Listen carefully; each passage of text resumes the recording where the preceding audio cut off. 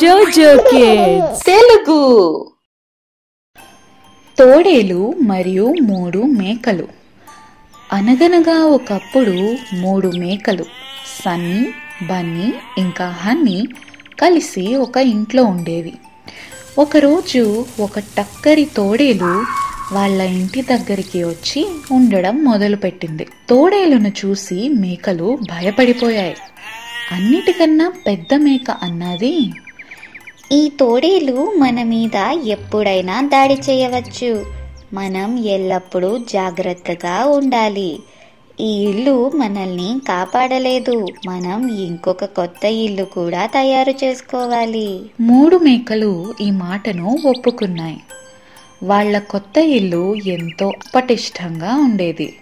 ఒకరోజు తోడేలు అవకాశం చూసుకొని ఆ మూడు మేకలను తినడానికి వాళ్ళ ఇంటికి వెళ్ళి తలుపును గట్టి గట్టిగా కొట్టడం మొదలుపెట్టింది.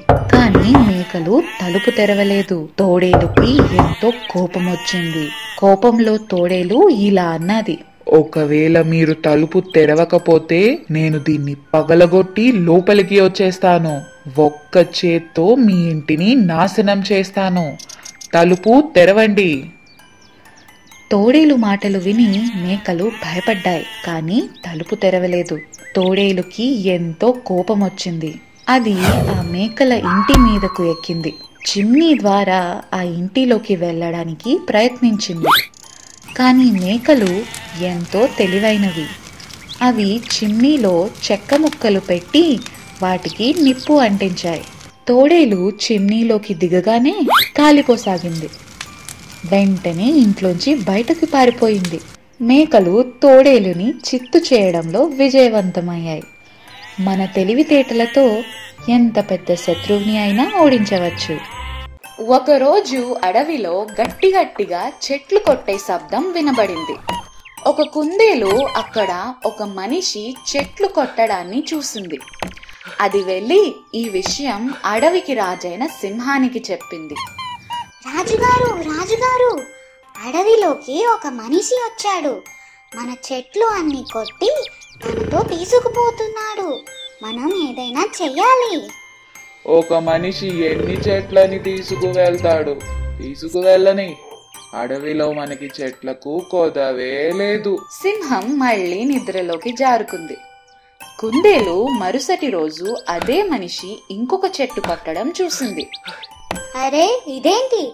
ఇతను మరిన్ని చెట్లు కొడుతున్నాడు? కుందేలు సింహం దగ్గరికి వెళ్ళి ఇలా అన్నది. మహారాజా మహారాజా ఇలానే ఉంటే మన అడవిలో చెట్లకి నష్టం వస్తుంది.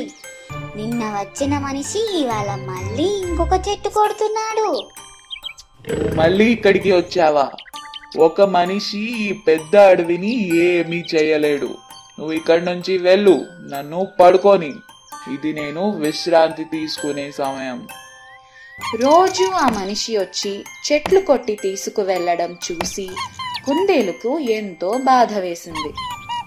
రాజుగారి దగ్గర బలం అయితే ఉంది కానీ బుర్ర లేదు. నేనే ఏదో ఒకటి చెయ్యాలి. మరుసటి రోజు కుందేలు ఒక ఉపాయం ఆలోచించింది. సింహం దగ్గరికి వెళ్ళి ఇలా అన్నది. ఇప్పుడు మీ అవసరం మాకు లేదు. కొత్త రాజు వస్తున్నాడు కదా. ఏమన్నావ్? కొత్త రాజా ఈ అడవికి నేనే రాజు ఇంకెవరు కాదు. నువ్వు ఇలా ఎందుకు అంటున్నావు ఏం చెప్పను? ఏమని చెప్పను మీతో రాజుగారు? మీకు తెలియదు ఏమో.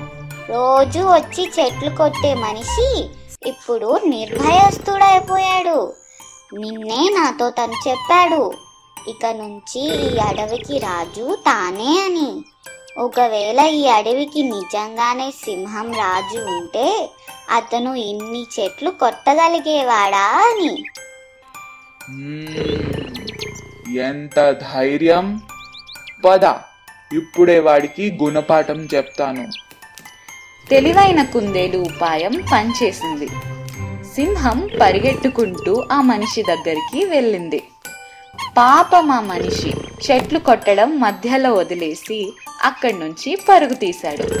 మళ్ళీ ఆ అడవికి ఇంకా ఎప్పుడూ తిరిగి రాలేదు. అల్లరి కోతి. ఒకప్పుడు డుగ్ డుగ్ అనే ఒక కోతి ఉండేది. ఒకరోజు తిరుగుతూ తిరుగుతూ అది ఒక ఊరికి చేరుకుంది. ఒక పెద్ద మామిడి చెట్టు మీద ఎక్కి చక్కగా మామిడి పళ్ళు తింటూ కూర్చుంది. కడుపు నిండిన తరువాత కొంచెం సేపు నడుం వాల్చాలనుకుంది. అప్పుడే తను ఎంతో సమయం నుంచి ఒక చెట్టుని కొడుతున్న ఒక కట్టెలు కొట్టేవాడిని చూసింది. అరే ఇతను ఏం చేస్తున్నాడు? ఈ చెట్టుతో అతను ఏం చేసుకుంటాడు? ఇంకా ఇతని చేతిలో ఏముంది? ఇంత పెద్ద చెట్టుని అంత చిన్న వస్తువుతో ఎలా కొట్టగలం? కోతి చిత్రంగా ఇదంతా చూస్తూ ఉంది. ఆహా మొత్తానికి ఇవాళ నేను మొత్తం చెట్టుని కొట్టేశాను. ఇప్పుడు ఈ కట్టెలతో నేను ఏం కావాలంటే అది తయారు చేయొచ్చు. ఎంతో అలసిపోయాను. భోజనం తినేసి కొంతసేపు పడుకుంటాను. కట్టెలు కొట్టేవాడు నడుం వాల్చగానే అతనికి నిద్ర పట్టేసింది. వెంటనే నిద్రలోకి జారుకున్నాడు. అల్లరి కోతి కట్టెలో ఉన్న గొడ్డలి చూసి ఇలా ఆలోచించింది. అసలు ఇదేంటి? ఇంత పెద్ద చెట్టుని కొట్టేసింది. ఈ శక్తివంతమైన వస్తువు అసలు ఏంటో వెళ్ళి చూస్తాను. అల్లరి కోతి గెంతుతూ గెంతుతూ ఆ గొడ్డలి దాకా చేరుకుంది. దాని చుట్టూ తిరుగుతూ తిరుగుతూ చిత్రంగా దాన్నే చూడసాగింది. అస్సలు అర్థం కావట్లేదే. ఆ కట్టెలు కొట్టేవాడు ఇంత చిన్న వస్తువుతో అంత పెద్ద చెట్టుని ఎలా కొట్టగలిగాడు? కోతి ఆ గొడ్డలి చుట్టూ తిరుగుతూ తిరుగుతూ ఉంది. ఇలా చేస్తూ చేస్తూ కోతి తోక గొడ్డలిలో ఇరుక్కుంది. అరే అరే నే అరే ఇదేంటి? నా తోక. అయ్యో నా తోక. నా తోక. కాపాడండి కాపాడండి. ఎవరైనా ఉన్నారా? కాపాడండి. ఈ అరుపులు విని కట్టెలు కొట్టేవాడు పరిగెట్టుకుంటూ కట్టెల దగ్గరికి వచ్చాడు. అతన్ని చూసి కోతి అక్కడి నుంచి ఎలా అయినా పారిపోవాలని ప్రయత్నించింది. ఆ ప్రయత్నంలోనే కోతి తోక రెండు ముక్కలైపోయింది. ఆ నొప్పితో గట్టి గట్టిగా అరవసాగింది. అక్కడ నుంచి ఇంకా పరిగెట్టింది. కాపాడండి నా తోక తెగిపోయింది. కాపాడండి పారిపోదాం పారిపోదాం ఇక్కడి నుంచి. అయ్యో నేను ఇదేం చేశాను? అడవి మధ్యలో ఒక చెరువు ఉండేది. అక్కడ ఎన్నో చేపలు ఉండేవి. ఎండలు ఎక్కువ కావడంతో చెరువు మెల్లగా ఎండిపోసాగింది. మన చెరువు ఎండిపోతుంది. మనం ప్రాణాలు కాపాడుకోవడానికి ఏం చేద్దాం? ఇప్పుడు మనం తక్కువ నీళ్ళలోనే బతికి ఉండాలి. అడవిలోని మిగిలిన జంతువులను ఇక్కడ నీళ్ళు తాగద్దు అని వారించాలి. మొత్తం నీళ్ళు అయిపోతే మనం చనిపోతాం. అన్ని చేపలు కలిసి ఏం చెయ్యాలో అని మాట్లాడుకుంటాయి. నీళ్ళు తాగడానికి ఏ జంతువు వచ్చినా చేపలు వాటిని తరిమేసేవి. వెళ్ళిపో ఇక్కడ నుంచి. ఇక్కడ నుంచి నీళ్ళు తాగద్దు. మొత్తం నీళ్ళు మీరే తాగేస్తే మేం ఎలా బతుకుతాం? వెళ్ళిపో ఇక్కడ నుంచి. మా చెరువు ఎండిపోతుంది. నువ్వు ఇంకెక్కడికైనా వెళ్ళి నీళ్ళు తాగు. ఈ చెరువు అడవిది. దీనిపై అందరికీ సమాన హక్కు ఉంది. నేను ఇంకెక్కడికైనా ఎందుకు వెళ్ళాలి? నేను ఇక్కడే నీళ్ళు తాగుతాను. ఏనుగు నీళ్ళు తాగుతూ ఇలా అంది. ఒకరోజు అడవికి రాజైన సింహం అక్కడ నీళ్ళు తాగడానికి వచ్చినప్పుడు చేపలు జరిగినదంతా రాజుగారికి చెప్పాయి. ఇప్పుడు మీరే చెప్పండి. ఇలానే ఉంటే మేము ఎక్కడికి వెళ్తాం? మేము ఎలా బతుకుతాం? మేము వద్దని వారించినా కూడా అన్ని జంతువులు వచ్చి ఇక్కడే నీళ్ళు తాగుతున్నాయి. సింహం అన్ని జంతువులతో మాట్లాడి వాళ్ళకి అర్థమయ్యేలా చెప్పింది.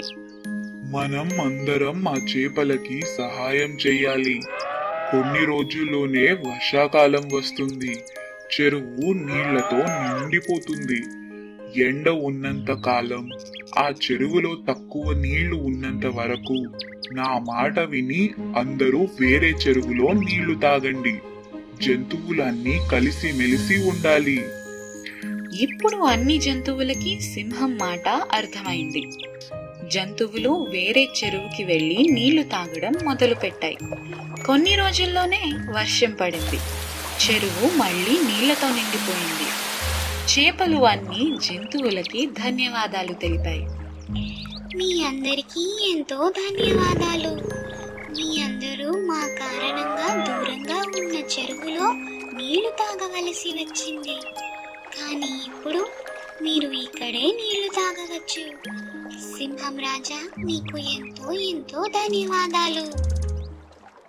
తోడేలు మరియు కొంగ. ఒకరోజు ఆకలితో ఉన్న తోడేలుకి దారిలో చనిపోయిన ఒక జంతువు కనిపించింది. వా మజా వచ్చింది. ఇవాళ కడుపు నిండా తింటాను.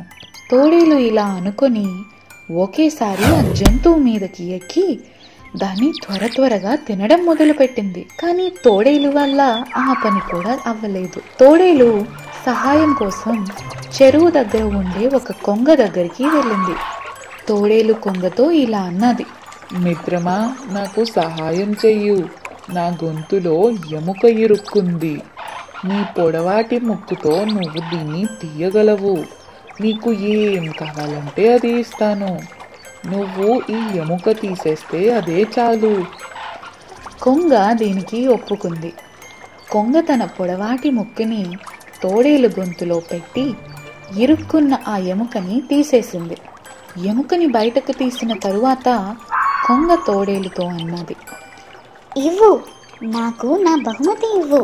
నువ్వు మాట ఇచ్చావు. తెలివైన తోడేలు నవ్వడం మొదలుపెట్టి ఇలా అన్నది నేను నీకు బహుమతి ఇవ్వాలా? హ ఇంకా నిన్ను తినకుండా వదిలేస్తున్నందుకు నువ్వే నాకు ధన్యవాదాలు తెలపాలి. దుష్టులను ఎప్పుడూ నమ్మకూడదు. Please subscribe